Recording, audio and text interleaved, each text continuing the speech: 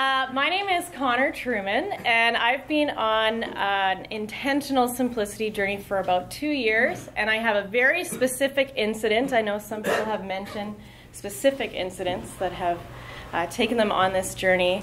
And it's when I went to a friend's wedding in Ohio two years ago. I flew from Winnipeg to Toronto, Toronto, Columbus, Ohio. And um, my bag got lost in Toronto somewhere. So I go through customs. I know I don't have this bag. I know I'm not going to have it with me when I go to the wedding. I'm singing at the wedding, so I had a dress in there for the rehearsal dinner. I had a dress that I knew I could wear in front of a group of people.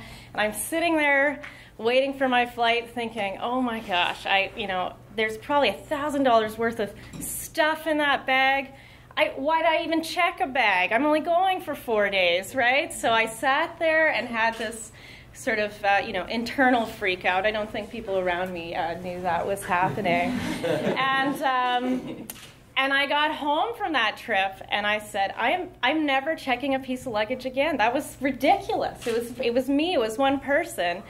And um, so then I started investigating how I could best do that, and that sort of spiraled into, or snowballed into, into other things, and now it's sort of um, spread throughout our entire lives. And I say ours because my, my husband's a like moderately willing participant in, in, uh, in these adventures. He doesn't stop me, but he usually lets me charge ahead for about a year on a project before he jumps on board. So, so that was a specific incident uh, for me that, that, that started my journey. So awesome. Sure.